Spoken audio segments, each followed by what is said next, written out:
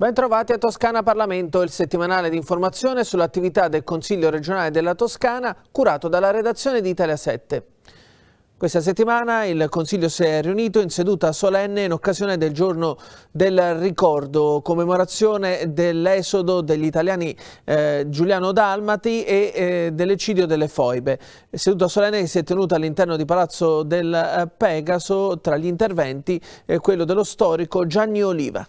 Per non dimenticare uno dei periodi più bui dell'immediato dopoguerra, i massacri delle foibe e l'esodo degli italiani Giuliano Dalmata, e per comprendere come si è arrivati all'ultima tragedia consegnataci dal secondo conflitto bellico mondiale, questo è il senso delle commemorazioni del giorno del ricordo che hanno avuto come evento clou la seduta solenne del Consiglio regionale della Toscana, al centro della quale c'è stata la lezio dello storico Gianni Oliva.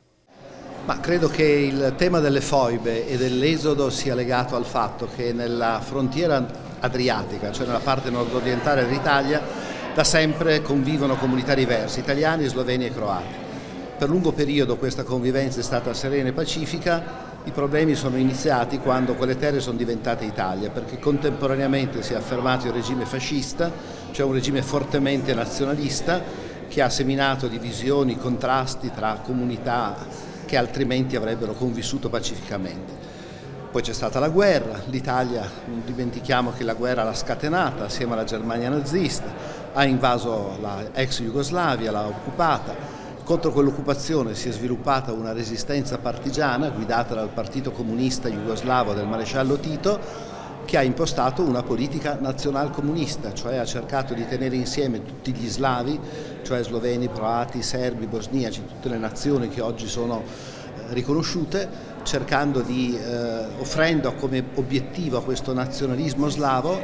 l'annessione alla nuova Jugoslavia comunista di tutte le terre mistilingue, cioè dell'Istria, della Dalmazia, di, di, Trent, di Trieste, di Gorizia, di Monfalcone fino alla linea dell'Isonzo e quando l'esercito di Tito arriva per primo a Trieste inizia la strage delle foibe, cioè cerca di eliminare tutti coloro che possono difendere l'italianità di quel territorio, cioè tutta la classe dirigente italiana. Così nascono i 6-7 mila infoibati italiani che si assommano ad altre decine di migliaia infoibate per motivi politici tra gli slavi, tutti coloro che erano anticomunisti sono stati eliminati e poi quando quelle terre diventano Jugoslavia inizia l'esodo perché gli italiani che abitano di là hanno la sensazione che da quella parte non ci sia più prospettiva di futuro. Ecco, io credo che per tanto tempo non si sia parlato a torto delle foibe perché l'Italia quando è finita la guerra ha fatto finta di aver vinto, mentre invece la guerra l'aveva fatta scatenata e l'aveva persa. Parlare di foibe di esodo voleva dire riconoscere la sconfitta perché nessun vincitore ha migliaia di morti e centinaia di migliaia di profughi dopo la fine della guerra. E così è stata omessa dal dibattito e quando delle cose non si parla nascono le strumentalizzazioni, le bandierine. Il problema è che gli infoibati e gli esuli Giuliano Dalmati non erano né di destra né di sinistra. Sono il prezzo che l'Italia ha perso alla sconfitta della guerra e avevano per la guerra le stesse responsabilità dei fiorentini, dei torinesi, dei siciliani. È che la guerra colpisce chi si trova a vivere nel posto che in quel momento diventa sbagliato, esattamente come oggi vivere a Zaporizia o a Kharkiv è diverso dal vivere a Leopoli che è all'estremità occidentale dell'Ucraina. La Toscana accolse gli esuli del nostro confine orientale. Si stima che circa 2000 persone trovarono rifugio a Laterina. Quella che era un tempo un campo di concentramento militare e di prigionia si trasformò fino al 1963 in un centro di raccolta di profughi giuliano-dalmati. Non è un caso che tre anni fa l'organo legislativo regionale si diede appuntamento proprio nel comune aretino per la ricorrenza. Oggi siamo qui per ricordare perché quello che è accaduto non accada mai più. A noi è il compito, eh, alle istituzioni, il compito di non voltarsi dall'altra parte, eh, di far conoscere, ma soprattutto di far comprendere perché quanto è accaduto non accada eh, più e questo vale ancora di più oggi quando i sopravvissuti a quelle barbarie non sono più insieme a noi. Quanto successo non può essere dimenticato e quindi è corretto e doveroso lasciare da parte le bandiere dei singoli partiti, essere rappresentanti della Toscana, rappresentanti istituzionali, fermarsi un giorno portare e attualizzare quanto successo perché questo non si possa più riverificare non soltanto in Italia, in Europa e nel mondo. Questa storia non è stata raccontata per anni per motivi politici perché faceva comodo avere Tito come interlocutore del mondo che stava tirando dalla cortina di ferro, non è stata raccontata per motivi economici perché a tante, alla principale industria italiana faceva comodo avere buoni rapporti con la Jugoslavia di Tito e per motivi politici e economici abbiamo tenuto nel cassetto la storia. L'importante è comunque cercare di comprendere, come ha detto anche il Presidente del Consiglio regionale, comprendere le ragioni di quello che è accaduto per attualizzarle e cercare di capire il presente. Questa è una lezione fondamentale che dovrebbe essere sempre fatta guardando alla storia e cercando di conoscerla anche per fare il nostro mestiere di politici oltre che di cittadini. Credo che questa tragedia, anche questa tragedia, debba essere conosciuta e servire da monito perché noi dobbiamo guardare al futuro cercando di abbattere i nazionalismi, eh, di mantenere le nostre identità ma di sfumare quelli che sono stati oggetto di guerre e di tragedie come questa, vale a dire la contesa dei confini. Credo che l'entità dell'Europa sia quella alla quale noi dobbiamo guardare, tanto più oggi nel momento in cui ancora al,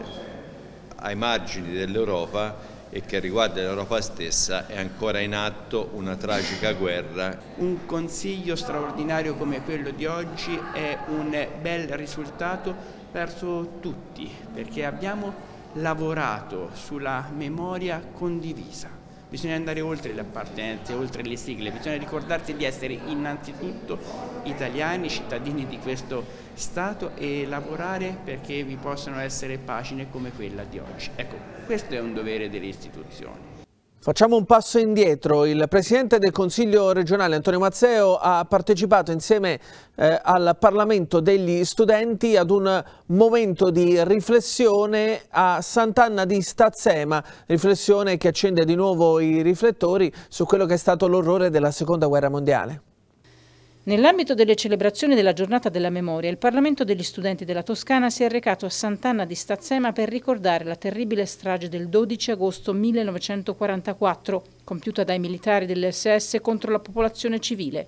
Ad accompagnarli il Presidente del Consiglio regionale Antonio Mazzeo. Noi riteniamo questo luogo un luogo simbolo della democrazia della nostra Repubblica e abbiamo la necessità di continuare ad investire, ad investire ancora di più dopo che le ultime voci che potevano raccontare la barbarie di quel tempo, penso a Enrico Pieri, penso a Cesira Pardini, a cui va il nostro grazie più sincero per aver coltivato la, la memoria. E a noi il compito di essere insieme alle ragazze e ragazzi della nostra scuola amplificatori di memoria. E questo è un luogo che segna la disumanità di quel tempo, segna le barbarie subite da tante donne e da tanti uomini.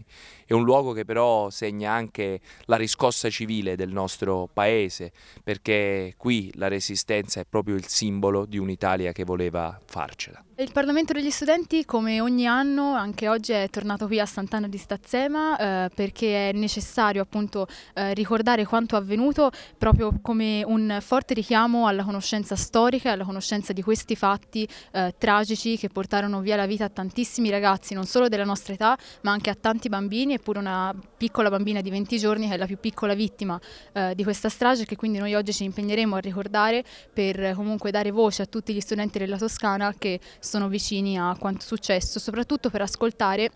le, le, le, ultime voci dei sopravvissuti, tra cui Adele Pardini, che abbiamo la fortuna di avere qui oggi con noi, proprio per eh, un, un, momento di, di ricordo di quanto accaduto. Sant'Anna, come tutti i luoghi oggetto di stragi di civili nel corso della Seconda Guerra Mondiale, eh, ci comunicano ancora oggi, a quasi 80 anni, che cosa quella guerra ha rappresentato, il dramma della guerra e il suo eh, manifestarsi contro le popolazioni civili e non solo contro gli eserciti, fino a colpire in questo caso addirittura l'intera popolazione e, e non solo gli adulti maschi. Credo che venire in questi luoghi sia, cioè, ci dia un senso di quasi malinconia, però allo stesso tempo ne capisci l'importanza del ricordo. Anche vedere le persone che vengono qua eh, di fronte ai ragazzi per mantenere qualcosa che tutti forse dovremmo avere in mente. Un, uno di quei ricordi che mh, mm, bisognerebbe tutti sentire perché è stato non solo un pezzo di storia, ma anche vedere come una comunità si sia rialzata, mh, mm, abbia cercato in tutti i modi uh, di, di, trasmettere anche il dolore e la sofferenza, perché questo è un luogo di dolore e sofferenza, ma che oggi ci dà una speranza ed è quella che in futuro non si possano ripetere stragi come quella che è successa a Sant'Anna di Stazzema. Io mi chiamo Bardini Adeli e stavo in località Coletti. Quando sono arrivati i tedeschi stavo facendo colazione in un'aia, eravamo una trentina di persone, sono preso, sono messa al muro, cinque sorelle e la mamma che aveva in braccio la piccolina di 20 giorni, la mia mamma e un'altra mamma erano state ammazzate con la pistola, noi sono con la medagliatrice, la mia sorella che aveva 18 anni, Pardini Cesira, si è aperta una porta dietro di noi e si è portato in questo fondo. E così ci siamo salvati. Dopo il convegno tenutosi a Palazzo del Pegaso, riflettori ancora accesi su Carlo Levi. Il presidente dell'Aula, Antonio Mazzeo, eh, è stato presente all'inaugurazione di una mostra dedicata allo scrittore. Presentata a Palazzo Medici Riccardi la mostra Carlo Levi a Firenze, un anno di vita sotterranea, dedicata all'intellettuale antifascista nato a Torino nel 1902 e morto a Roma nel 1975, promossa dalla città metropolitana di Firenze con il patrocinio di Regione Toscana, Comune di Firenze e Città di Torino, organizzata dalla Fondazione Giorgio Amendola in collaborazione con la Fondazione Carlo Levi, il Centro UNESCO e l'Associazione Muse. Una sinergia tra istituzioni e fondazioni che vedrà esposte 34 opere di segno, oltre a una riproduzione del celebre Telero Lucania 61 nelle sale Fabiani di Palazzo Medici Riccardi fino al 19 di marzo. Carlo Levi è stato pochi mesi in confino in Basilicata, ha avuto eh, il privilegio di conoscere la fatica, la sofferenza di un popolo che viveva in quel tempo solo di agricoltura. Lo ha raccontato a Firenze in un libro che eh, segna un po' la storia della letteratura, Cristo si è fermato a Eboli, ha raccontato gli sguardi, le fatiche, le ansie, le preoccupazioni di un popolo che sa essere dovunque c'è libertà e giustizia. E questa mostra racconta le sue opere principali, racconta eh, uno dei suoi capolavori, forse il suo capolavoro, Lucania 61, eh, un'opera che è stata prodotta eh, proprio per rappresentare l'unità d'Italia, e che è stata presentata a Torino, città di Carlo, Carlo, Levi. Opere che riescono a raccontare volti, sguardi, storie, esperienze. Una mostra che consiglio a tutti i fiorentini, a tutte le fiorentine, a tutte le toscane e a tutti i toscani. Qui in Palazzo Medici Riccardi si racconta un pezzo di una storia bella del nostro paese. Questa mostra chiude simbolicamente un percorso che è stato fatto eh, con la Fondazione Levi e altri enti per il, per il 120 della nascita di Carlo Levi. Eh, come, come, a Firenze sanno eh, è una città molto importante per, per, Carlo Levi dove ha fatto il suo percorso di lotta partigiana e dove eh, ha scritto in, quei, in, quegli anni, in quei mesi il, il, Cristo si è fermato a Eboli, il suo più grande eh, capolavoro che appunto l'ha eh, proiettato sullo scenario internazionale come un grande meridionalista. Quindi era molto importante importante e ringraziamo le istituzioni che ci hanno aiutato a, a diciamo, esaudire questo nostro desiderio di, di riportare appunto eh, Carlo Levi a Firenze e chiudere questo percorso che è un percorso pienamente nazionale in cui eh, è importante sia la questione meridionale e per questo abbiamo tenuto a, a portare qui a Firenze una riproduzione del, del Telero Lucania 61 di, di, Carlo Levi che è un'opera proprio incentrata sulla, sulla, questione meridionale ma anche eh, una serie di, eh, di, quadri molto importanti eh, che ripercorrono il, proprio il percorso fiorentino di, di Firenze con dei personaggi e dei, e dei, paesaggi che sono stati proprio realizzati qui, quindi era eh, per noi molto importante anche per, per, tutte le altre istituzioni chiudere, chiudere questo, questo, percorso per il 120 qui in questa, in questa città che è molto ricca d'arte ma che siamo lieti e ringraziamo il Palazzo, il Palazzo Medici Riccardi per, aver, per averci permesso di realizzare questo, questo sogno. Ed è tutto anche per questa edizione di Toscana Parlamento. L'informazione dal Consiglio regionale della Toscana si aggiorna alla prossima settimana.